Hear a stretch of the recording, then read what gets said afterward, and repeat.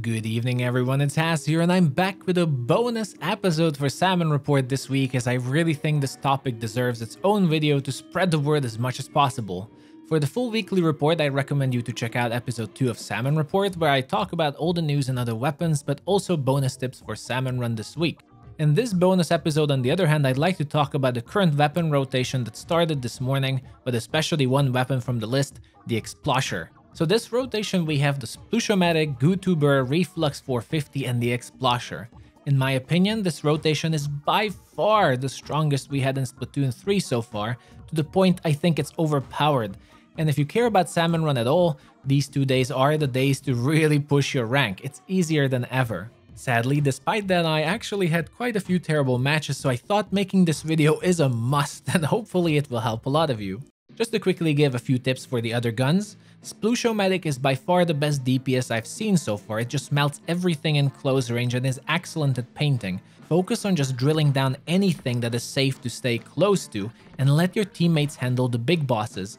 This is by far the best close range boss killer or even horde clearer that I've seen so far. A lot of people also struggle with the Gootuber. My tip is to, when you can't charge it, just spam your auto attack as it deals incredible damage and is very ink friendly, so don't be afraid to use it short range. But your main goal and your main objective is to make sure you get those Steelheads for your team as it is a one shot, a one charge shot for you, so that's your main priority. But the main topic is the Explosher this episode, it's by far the best weapon in this rotation. Apart from having an excellent range and decent damage, there are a few things that you should know about this slosher.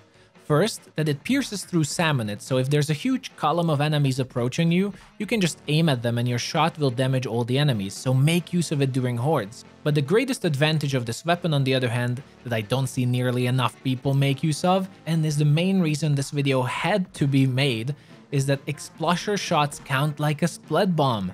This means for the worst bosses in Salmon Run, such as the Flyfish, the Explosher is the ultimate counter. Just aim at their launchers like if you were to throw a grenade and your regular Explosher ink will destroy them, easy as that. This is pretty much as easy as it's going to get taking care of those Flyfishes, and make sure you focus them if you get the Explosher in any wave. You will save your team every single time. A part of me always dies when I see someone not know about this awesome fact, so spread the news, share the video if that helps to anyone that plays Salmon Run so we can make this known. Another cool fact about this Explosher shot is that since it counts as a Splat Bomb basically, you can also use them during the Mudmouth wave. As the background footage will show, my teammate is using his Explosher to quickly get rid of all those gates, making the wave a walk in the park. So overall, I just wanted to share this bit of news since it's so deal-breaking and game-changing that everyone should know about it in Salmon Run, as it's one of the best weapons you can get in the rotation.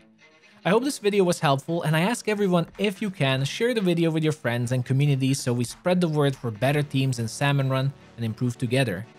If you're interested in additional tips, then subscribe to the series of Salmon Report, where I also share more news and tricks and learn together every week for Splatoon's PvE mode. But that's a wrap for this quick bonus episode for Salmon Report, everyone. Thank you for watching, hope this helps, and see you next time.